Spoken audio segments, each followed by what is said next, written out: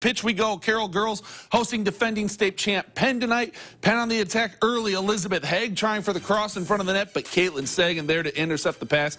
Keep this knotted at zero. Wouldn't take the Kingsmen long to get on the board, though. 11th minute misplay by the Chargers in the box frees up Grace Skolaric. She puts it just out of Sagan's reach. Penn takes the 1 0 lead. Late in the half, Chargers with a chance now. Nice through ball to Liz Knorr. Her initial attempt on goal gets denied, but she collects it, catches Caitlin Paul off her line, but she can't put it home. It soars wide. Penn comes to town, and they come out on top. 2 1, your final.